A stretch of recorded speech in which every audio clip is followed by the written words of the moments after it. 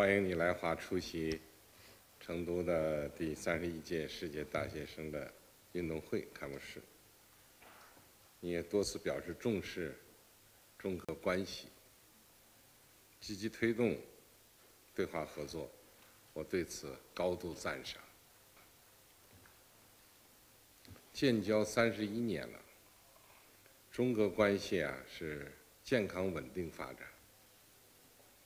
双方的政治互信牢固，各领域的合作成果显著。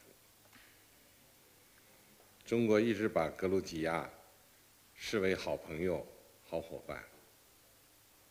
无论国际形势如何变化，中方发展对俄关系的决心坚定不移。你这次来华期间，双方将发表联合声明，共同宣布建立中俄战略伙伴关系。把双边关系定位提高到一个新水平，中俄双方要共同努力，在新的起点上推动我们的战略伙伴关系更好的发展，为两国各自发展复兴提供助力，为人类文明进步贡献正能量。